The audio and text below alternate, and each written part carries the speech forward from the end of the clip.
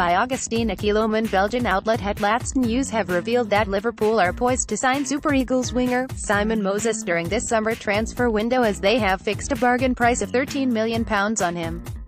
Moses who currently plays for Gent in the Belgian league appears to have impressed some of the Red Scouts who came to watch his game at the weekend. Although Premier League clubs such as Newcastle and Brighton have shown interest in signing the Nigerian international, Liverpool have, however, taken a big step ensuring they meet with his club and agent before the start of the 2018 World Cup.